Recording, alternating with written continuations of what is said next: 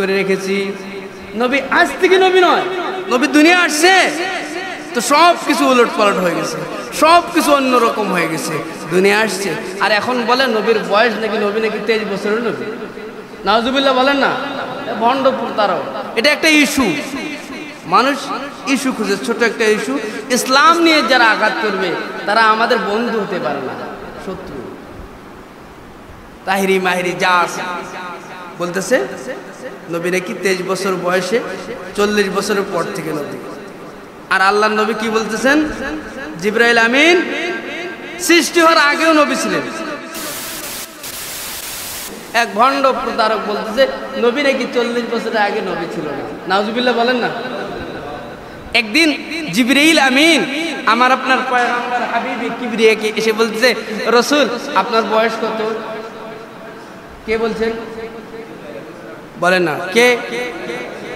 কথা জবাব দিলে আপনি বুঝবেন ভালোভাবে। যেই ছাত্রটা জবাব দেয় ক্লাসের মধ্যে, ওই ছাত্রটা বুঝে। যে ছাত্র ওই একদম চুপচাপ থাকে, শুধু শুনে। এ কিন্তু বেশি বুঝে না।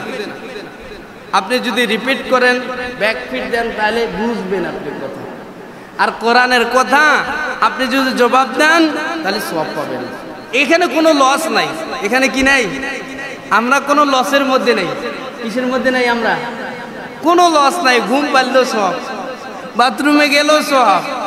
তারপর বিবাহ শাদী করলে তো ওরে আল্লাহ, আরও সব। আর নিকাহু নুসুল ইমান আল্লাহ নবী বলেন ইমানের অর্ধেক হলো বিবাহ শাদী সুমান আল্লাহ বলেন না? আমি নিজের হাজত পূরণ করার জন্য বিবাহ করলাম। নবী বলতেছেন ইমানের অর্ধেক। ইমানের কি? অর্ধেক পূরণ হয়ে গেছে।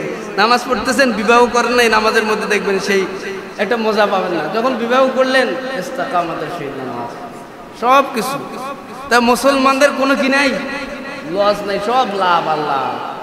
তো নবীকে এসে প্রশ্ন করলেন, জিব্রাইল আমিন ওগো পায়াম্মার আপনি বলেন না আপনার বয়স কত? তো নবী বলছেন, জিব্রাইল, আমারটা হয় থাক। আপনি বলেন, আপনি কি রব্বুল আলমিন সৃষ্টি করছেন কখন? আপনার বয়স কত? নবী যখন জিব্রাইল আমিনকে প্রশ্ন করছেন, জিব্রাইল আমিন তো আর প্রশ্ন করতে পারে না। রসুলকে আর প্রশ্ন করতে পারে না? এমপির পিএস। যদি কোনো কথা বলে, এমপির পিএস আর এমপিকে প্রশ্ন করতে পারে না। চুপচাপ, যেটা বলে হ্যাঁ জি জি, স্যার, ঠিক আছে আচ্ছা আচ্ছা আচ্ছা ঠিক তদ্রুপ। আল্লাহ নবীর কাছে জিব্রাইল পিএস এর ভূমিকায় অবতীর্ণ ছিলেন। পিএস, অথবা চিঠি যে নিয়ে আসে তারে কি বলে? Peon peon peon. রব্বুল আলমিনের কাছ থেকে কোরআন নিয়ে আসতেন। সুম্মাদানা ফাতাদাল্লা ফাকানা কাবা কাউসাইনি আও আদনা। ফাওহা ইলা আবদিহি মা আওহা। মা কাদাবাল ফুয়াদু মা রওয়া। সব কিছু রব্বুল আলমিনের কাছ থেকে জিব্রাইল আমিন পিয়নের ভূমিকায় আয়াত নিয়ে আসতো, সুরা নিয়ে আসতো, কোথা নিয়ে আসতো, ওহি নিয়ে আসতো। বলুন না সুবাহান আল্লাহ যখন জিবরাইল আমিন আল্লাহ নবীকে বলছেন, হে নবী, আপনার বয়স কত? আল্লাহ নবী ডাক দিয়ে কয়, জিব্রাইল, তোমার বয়স কত? সেটা বলো অনেক মানুষ আলেম, ভণ্ড প্রতারক, বলতেছে, নবী নাকি চল্লিশ বছরের আগে নবী ছিল না। কত বড় গাদ্দার, কত বড় অহংকার। নবী যখন বলছেন জিব্রাইল, তোমার বয়স কত? জিব্রাইল ডাক দেখো, ইয়া রাসূলুল্লাহ পয়গাম্বার, বয়স কত? তা বলতে পারব না, কিন্তু একটা জিনিস বলতে পারি। কয়, কি জিনিস? কয়, আমি যখন আল্লাহ রব্বুল আলামিন আমারে তৈরি করছে, তখন আসমানের মধ্যে একটা তারকা দেখেছি। ওই তারকাটা আমি সৃষ্টি হওয়ার পরে সত্তর হাজার বছর, সত্তর হাজার বার দেখছি ওই তারাটা উঠছে। একবার যখন উঠছে, তখন সত্তর হাজার বছর থাকে আসমানের মধ্যে আবার যখন তারকাটা ডুবে, তখন সত্তর হাজার বছর ডুবে থাকে। ওগো পয়গাম্বর, আমি জন্ম হওয়ার পরে, আমার সৃষ্টির পরে, আমি আমার নিজ চোখ দিয়ে দেখেছি, ওই তারকাটা সত্তর হাজার বার উঠছে, সত্তর হাজার বার ডুবছে। তাহলে জিব্রাইল আমিনের বয়স কত? বলেন, কত বয়স? কয়, অনেক বয়স। আল্লাহ নবী ডাক দেয়, কয় সুবানাল্লাহ বলার জন্য রেডি থাকবেন। সুবানাল্লাহ বলার জন্য রেডি থাকবেন। আল্লাহ নবী ডাক কয় জিব্রাইল, ওই আসমানের তারকাটা তারকা নয়, ওই আসমানের তারকাটা আমি পয়গাম্বার ছিলাম। আমি নবী ছিলাম, আমি নবী ছিলাম। এক বইয়ের মধ্যে পড়ে দেখলাম আল্লাহ নবী বলেন আল্লাহ নবীর উম্মত বলেন আলহামদুলিল্লাহ আবদাল আফলাক ওয়াল আরদিন। যখন আদম নবী মাটির মধ্যে ছিল যখন কাদার মধ্যে ছিল আমি পয়গম্বরের নূর তার থেকে হাজার হাজার বছর আগে রব্বুল আলামিন তৈরি করে রেখেছে। আমার নবী সকল কুল কায়নাতের সকলের আগে আমার নবীর নূর রব্বুল আলামিন তৈরি করেছে। বলুন না সুবহানাল্লাহ। নবীকে তৈরি না করলে কোনো কিছু সৃষ্টি হইত না। তো সেই নবীকে নিয়ে এখন কথাবার্তা চলে। নবী নাকি চল্লিশ বছরের বয়স পূরণ হয়েছে, তারপর নবী। আরে নবী তো জন্মর আগ থেকে নবী। যখন দুনিয়া আসবে আসবে ভাব। এখনও আসে নাই। এখনও কি হয় নাই? নবীর বাবার বিবাহ হয় নাই। নবীর বাবার কি হয় নাই? তখন এক মেয়ে দেখে আবদুল্লাহর প্রস্তাব যে, আবদুল্লাহ তোমারে আমি বিবাহ করতে চাই। তোমারে আমি কি করতে চাই? নবীর বাবার নাম কি? কি নাম? বলে না কি নাম?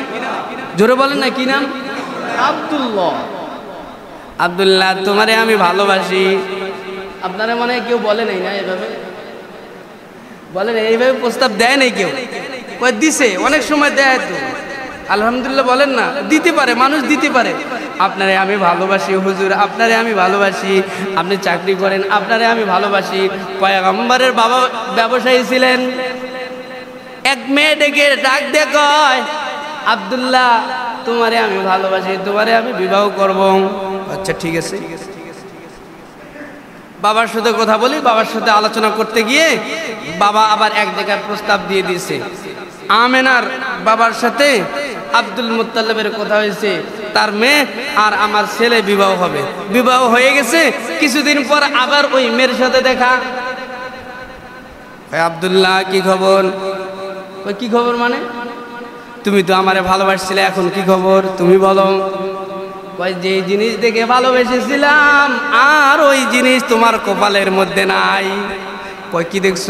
তোমার কপালের মধ্যে একটা নূর দেখেছিলাম। আবদুল্লার কপালের মধ্যে একটা কি দেখছে? নূর দেখেছিলাম, সহি হাদিস বলতেছি, একটা নূর দেখেছিলাম, ওই নূরটা আর তোমার কপালের মধ্যে নাই। তাহলে কি এখন আর তোমারে আমি আর বিবাহ করব না? সুমানাল্লাহ বলে না, নবী, নবীর বাবার কপালের মধ্যে, নবীর নূর। দুনিয়া আসছে, অনেক বংশ ছিল, অনেক মানুষ নবীর বাবারে প্রস্তাব দিচ্ছে কিন্তু না, কোথাও বিয়ে নেই। কয়েক নবীর বাবাকে আমি রব্বুল আলমিন আগেই ফিট করে রেখেছি। নবীর মারেও আমি আগেই ফিট করে রেখেছি। নবী আজ থেকে নবী নয়, নবী দুনিয়া আসছে। তো সব কিছু উলট পালট হয়ে গেছে সব কিছু অন্যরকম হয়ে গেছে, দুনিয়া আসছে।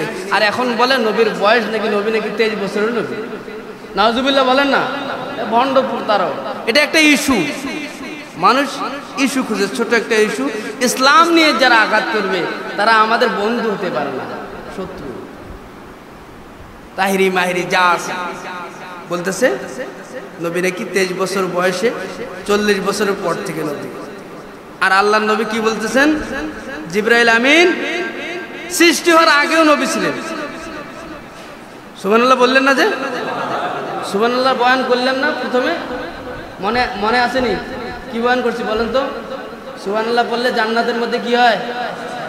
জান্নাতের মধ্যে গাছ হয় বিসিকে নিয়ে গেল। প্রশ্ন করে না, অনেক ব্যাকুব আছে না বিসিকে দিল। এরকম প্রশ্ন সম্মুখীন বোধ আপনারা হন নাই। তো বলছি বিসি কে নিয়ে গেল। রকেট যে চান্দের যায়, তো তেল কে নিয়ে যায়। ওই ওই ওই যারা প্রশ্ন করবে বিসি কে নিয়ে গেল, ওকে বলবেন, রকেট যে চাঁদের দেশে যায়, তো তেল কে নিয়ে যায়? তো ও যেই জবাব দিবে, আপনারও সেই জবাব। একবার সুরা ফাতেহা, সুরা এখলাস পড়লে কবরের মধ্যে সব যায়। যায় না যায় না? যায়। কবরের মধ্যে ফুটা কই?